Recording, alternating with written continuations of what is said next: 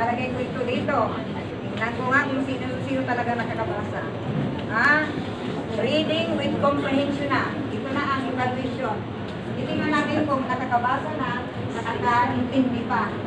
Right. Reading with comprehension. Kumuha ng isang salita, basahin sa harap ng guro. At ilagay sa larawan. Ito. Hindi ko nakikita. Ay, hindi po to. Hindi ko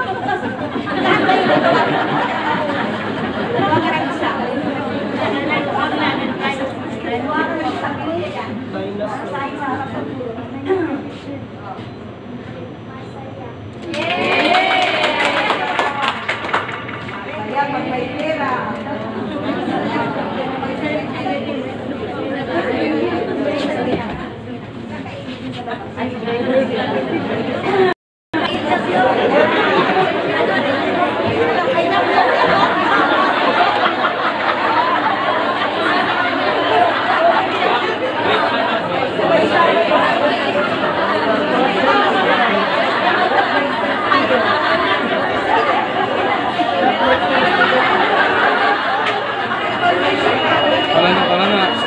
Selatan.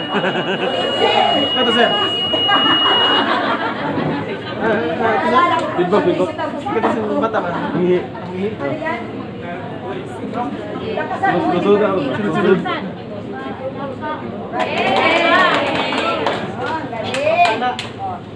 Yan. Ay,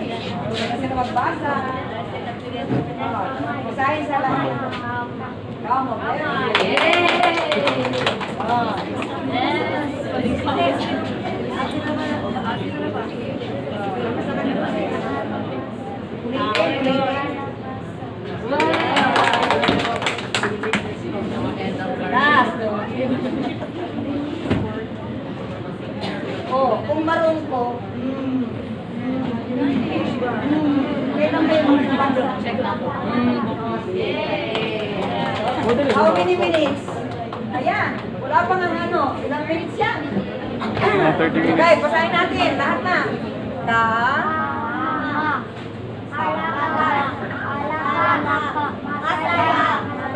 dito nagtatapos ang lesson 1.